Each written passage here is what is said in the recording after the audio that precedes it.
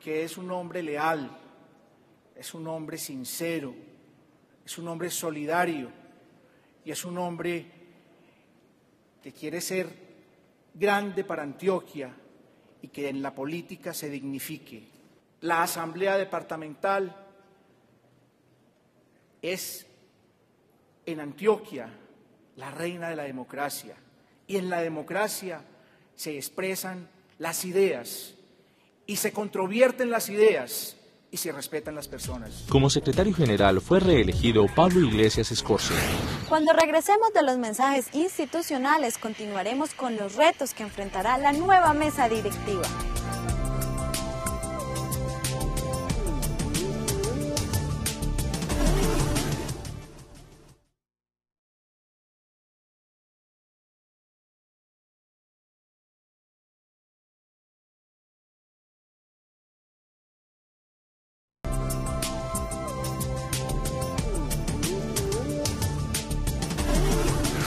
Con humildad y una férrea creencia en Dios, asuma el presidente de la Asamblea los compromisos para el periodo que inicia y que estarán enmarcados dentro de una álgida contienda electoral. La vida le viene dando unos retos y cosas que hay que asumirlas con responsabilidad. Nosotros no podemos ser inferiores a lo que Dios nos da.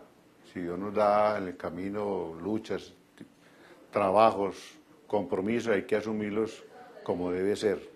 Sabemos que eh, es un semestre un poco delicado, un semestre muy comprometedor, un semestre netamente político y, netamente de puros juegos suramericanos. Pero estaremos pendientes para hacer de la Asamblea lo que viene siendo. La primera en el departamento en Colombia y tratar que la Asamblea siempre resalte el valor, el valor humano. Nosotros no podemos desconocer que nos debemos a la gente, nos debemos al pueblo y al pueblo le tenemos que responder. Tenemos grandes incógnitas para despejar en este semestre. Una de ellas es que la institución sea fortalecida al 100%. Entendemos que el sistema, nos falta más modernismo en la Asamblea Departamental en cuanto al sistema tecnológico. Vamos a procurar que esto se dé.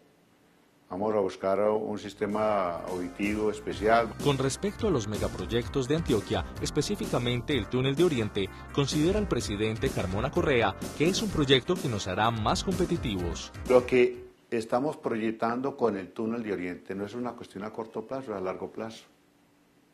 Nosotros nos debemos conectar, buscar la manera de conectarlo lo más rápido posible para poder ser competitivos.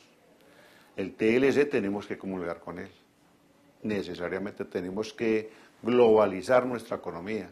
Y para poder globalizar con nuestra economía tenemos que buscar ser competitivos. Y para poder ser competitivos, la mejor manera es podernos conectar al mundo a través de qué? A través de los medios como es la aviación, como es el mismo mar, a través de los aeropuertos, otras cuestiones. Entonces nosotros no nos podemos quedar cortos en este momento. Ahora nos parece que, no es necesario, pero a la larga es una cuestión indispensable y es fundamental para el desarrollo del departamento de Antioquia. En obras de infraestructura como las vías terciarias del departamento, expresa el vicepresidente primero que se destinaron recursos para su atención y mantenimiento. Desde la Comisión del Presupuesto, que también soy integrante y en la Asamblea Departamental, tuvimos una reunión con el señor gobernador y ahí el señor gobernador pues tiene el deseo y el ánimo de colaborarle a los alcaldes municipales y se tiene proyectado una partida de 200 millones de pesos para cada municipio para ejecutarlo en obras y vías terciarias. Entonces a mí me parece de que eso es mm, una inversión social, eso es colaborar, a pesar de que el departamento de Antioquia no tiene esa obligación constitucional sino que la ley y la constitución le da esa obligación a los municipios.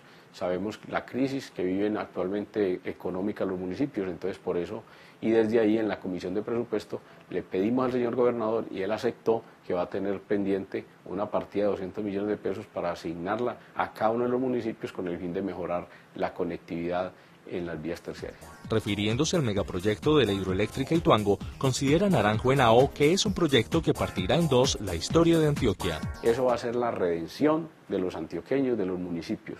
Eso va a partir en dos la historia de Antioquia. Eso va a ser un hecho histórico para los antioqueños. ¿Por qué? Porque los excedentes que va a producir Pescadero y Tuango, esos ingresos de más, eso se va a traducir en progreso, en desarrollo, en inversión para los municipios de Antioquia, que son los dueños de ese gran proyecto. Entonces, por fin, los 125 municipios de Antioquia van a tener adicionalmente unos ingresos cuando empiece a generar eh, excedentes industriales el proyecto Pescadero Ituango.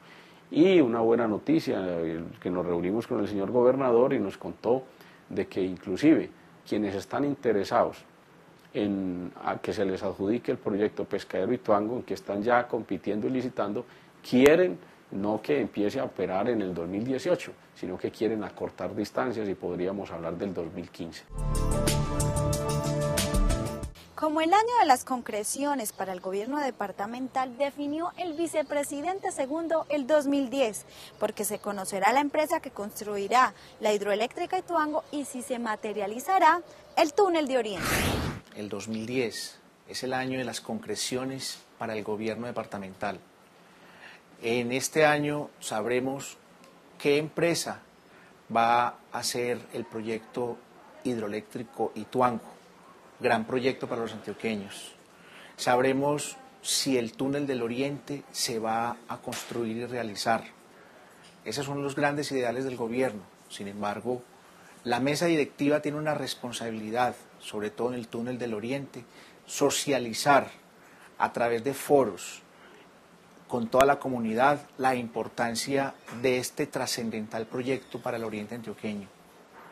Así pues, en compañía del doctor Cosme como presidente y Rubén Darío Naranjo como primer vicepresidente, tenemos la mayor responsabilidad y es dejar en alto el buen nombre de la Asamblea Departamental, llevarlo a todos los rincones de Antioquia. Dice el vicepresidente García Mejía que no se ha podido materializar el anhelo de descentralizar la Secretaría de Agricultura. Al interior de la Asamblea Departamental hemos escuchado voces en donde la Secretaría de Agricultura pues ha tenido, en primer lugar, una falla, no ha cumplido con lo estipulado dentro del plan de desarrollo o la promesa electoral del señor gobernador, como era descentralizar en cada una de las subregiones eh, la Secretaría de Agricultura. Eso es lamentable porque eh, todos los campesinos de Antioquia esperaban y aspiraban tener cercano a las oficinas de, la, de agricultura. Y otra gran dificultad que hemos venido analizando es la alta concentración de los recursos en la subregión del oriente antioqueño, en déficit de las demás subregiones del departamento, con prioridades y, y problemáticas en temas agropecuarios. Es lamentable el deshonroso primer lugar ocupado por Antioquia en el número de víctimas por causa de la pólvora. Lamentablemente el departamento de Antioquia ha ocupado una vez más el deshonroso primer lugar en el número de víctimas por pólvora y de ellos alrededor de la mitad niños, lo cual tiene que ser un campanazo de alerta para todas las autoridades y muy especialmente para las familias y para las instituciones educativas para que durante todo el año 2010 hagamos una campaña pedagógica y lleguemos a un estado en el cual podamos decir que el departamento de Antioquia efectivamente ha logrado disminuir el número de víctimas por la pólvora. No podemos circunscribir el tema de la pólvora a la temporada navideña. Las víctimas por pólvora tienen secuelas de por vida, no solo cicatrices, sino muchas veces deformidades funcionales visuales, auditivas o de las extremidades por mutilaciones derivadas de la pólvora. Así pues que este 2010 tiene que ser todo el año una campaña pedagógica en las familias, en las instituciones educativas y el gobierno en general para que exista la posibilidad de impactar ese indicador tan lamentable de víctimas por pólvora. Presidente y vicepresidente segundo felicitan a la hinchada, jugadores y cuerpo técnico del Deportivo Independiente Medellín por la consecución de su quinta estrella. Felicitar a toda la hinchada del Medellín Y yo creo que la Asamblea de pronto le tiene que dar un reconocimiento a Leonel Álvarez y toda la hinchada.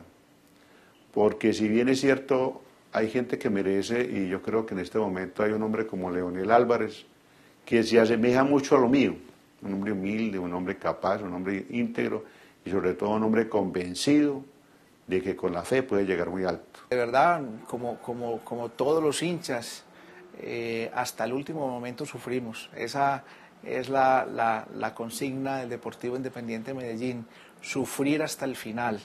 Nos comimos las uñas ah, el día del partido y pues logramos la tan anhelada estrella, pero este, este triunfo se le debe más, desde luego, a la hinchada, a la, a la, a la tenacidad, a la constancia, a la disciplina de su director técnico. Un hombre que con su trabajo mmm, muestra que se pueden lograr grandes cosas con mucha disciplina y con mucha constancia. En el año 2010 les estaremos informando todo lo relacionado con los actos y las decisiones de la Asamblea de Antioquia. Esperamos seguir contando con ustedes. Hasta el próximo martes.